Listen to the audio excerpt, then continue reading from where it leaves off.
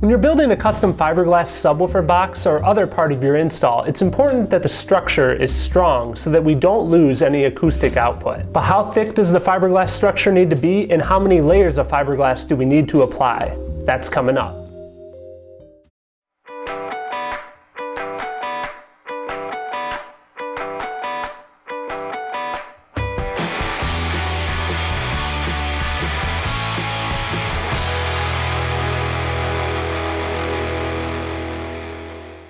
Welcome to the first ever Fabrication Friday. This is something that I've been wanting to do for a while. Basically what I'm gonna do is the questions that you guys have posted down in the comments below and sent me via the website, I'm gonna answer those questions on a weekly basis. Together we can learn how to master car audio and how we can design, build, and install our ideal car audio systems. This week Peter asked this. Great videos. Thanks Peter. For a larger fiberglass subwoofer enclosure that is fiberglass on three larger sides, how many layers of one and a half ounce chop mat should there be to provide reasonable stiffness?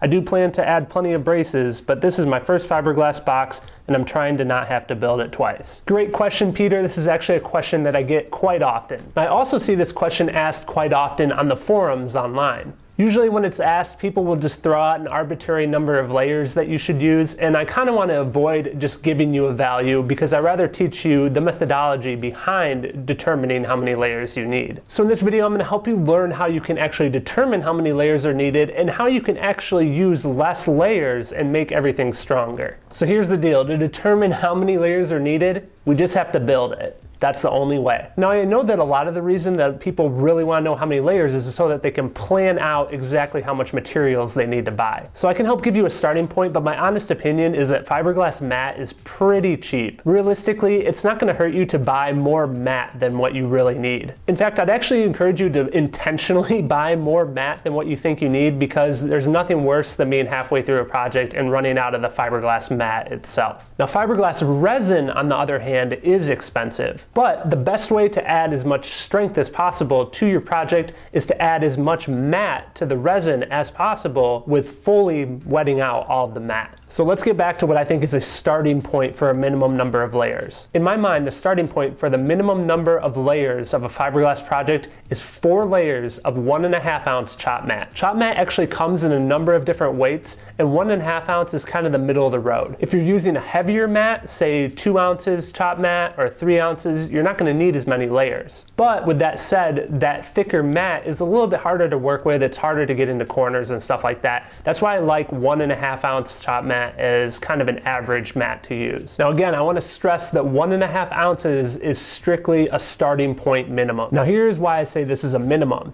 Let's say that your part is really flat, like a sheet of paper.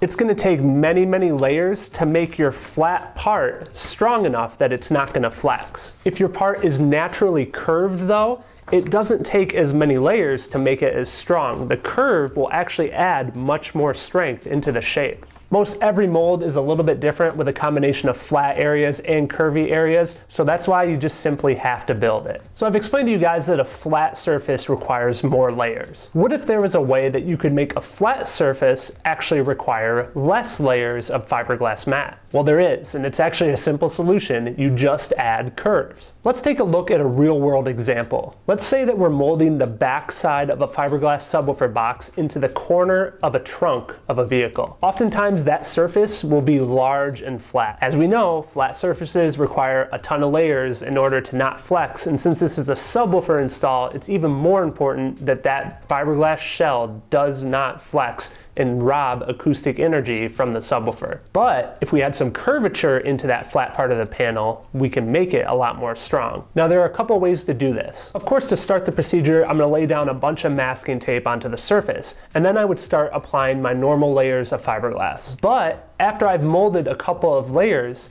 I would intentionally add wooden dowels on top of the fiberglass structure and then literally mold those wooden dowels into the fiberglass. So basically what I've done is created an initial fiberglass structure. I've put the wooden dowels in place using either hot glue or CA glue, and then I'm actually applying fiberglass mat over those wooden dowels, making them a permanent part of the structure. Now this is much like adding bracing to a subwoofer box, but the deal is you're not adding the strength with the actual wooden dowel itself. It could be made of nylon or something flexible. Where the strength is coming from is the fact that you're adding these bumps and these curves to the fiberglass structure. Now I mentioned that you could use something soft. I've even seen people use rope. Personally, I found wood to work the best because it doesn't move around when you're trying to dab your paintbrush on top of it when you're applying the mat over it. So now we know a good starting point of about four layers of one and a half ounce chop mat, and we know a good way of encouraging additional strength in the layup is to add curves. How do we know that it's thick enough? Well, the way we test it is just trying to flex it. That was a ride. When the part is still in its molded position, most of the time it's going to be in a part of the vehicle that flexes. So it's going to be against a carpet panel, it's going to be against a plastic panel that if you push on, there's going to be a little bit of flex. So after your initial layers have been applied and dried, that's when you're going to want to just simply push it with your thumb and see if it flexes. If the area that you are pushing on does seem to deform, you need to add more layers. Now I do want to point out that it's important that you do this while the part is still within the vehicle or when the part is still on whatever whatever molding surface you're using. This is because when you add additional layers, the fiberglass is going to constrict and want to warp. So you want to make sure that it's still on your initial mold. Absolutely do not pull the part out and then add layers. It will warp and it will not fit back where you want it to. Trust me, I've learned this the hard way. Now there's gonna come a point where when you're pushing on it with your thumb, it's not gonna deform at all. If you're doing a fiberglass door pod or something like that that's just a smaller speaker, that's probably gonna be good enough.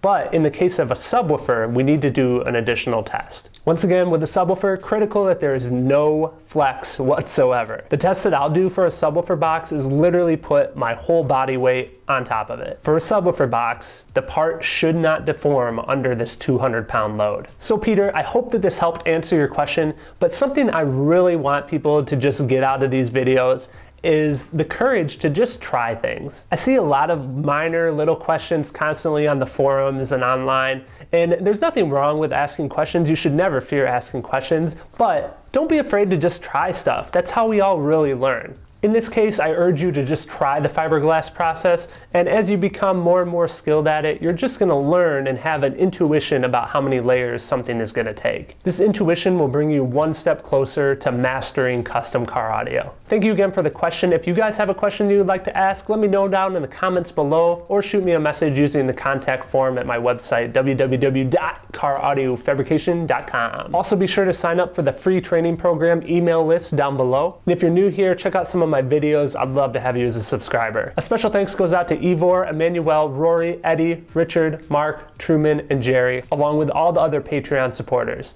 Thank you guys for all your support and making these videos possible. Thanks again for watching this video.